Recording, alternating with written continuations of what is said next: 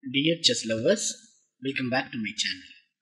Today I am going to show you a very good chess game which is played by Garry Kasparov.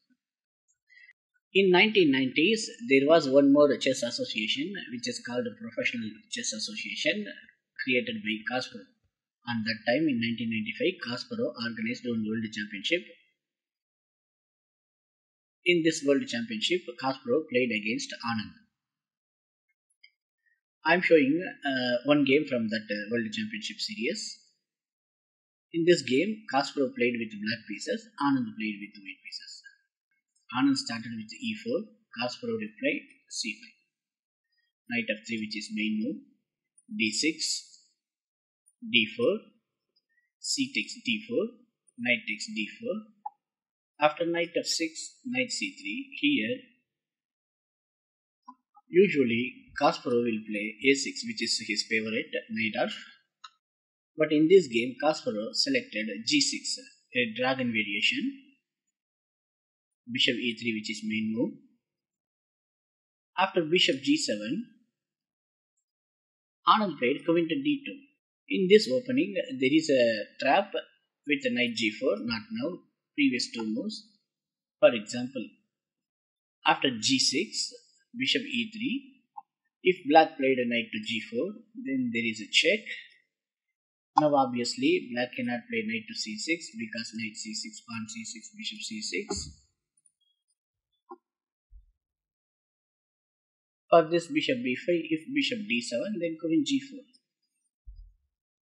For this reason, white will wait for one move to play f3. After bishop g7, Usually white will play f3. But in this game, Anand played queen d2, Kasparov castle king side. He did not play knight g4. But in this game, Kasparov played knight to c6. He did not play knight g4, I don't know why. Then now f3, castle king side. Here bishop c4, bishop d7, h4, h5. Now bishop b3. Here Kasparov selected the move rook c8. After knight c6, pawn takes c6. Now Kasparov blocked his own open file. Now bishop h6, pawn c4. Now Anand played bishop to c4. Otherwise pawn will go up. Then queen b6 that is on queen b2 then bishop takes king takes pawn b3 for this move kasparov played bishop e6 then knight d5 there is a double attack. Then bishop takes then pawn takes. After e6 anand made a mistake which is uh, d takes e6 here castle will be equal position. But after e5 anand took the pawn on e6 now pawn d5. Here Anand played bishop e2. Here if bishop takes pawn, then rook f d8. After pawn c4, f takes e6, white will lose the bishop. So bishop e2 on to c4. Here white replied with c3. Now rook c to e8. White took the pawn on c4.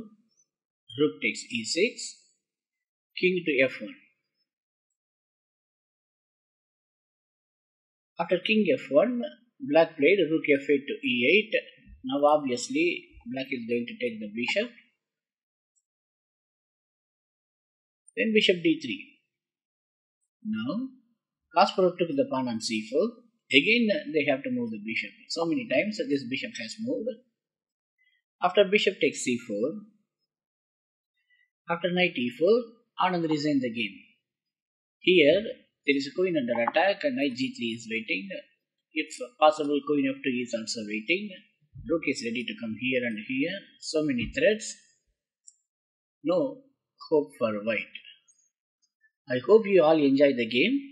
If anybody want to any game to analyze, please text me in the comment. I will post. Please support me with like, subscribe and share. Thank you.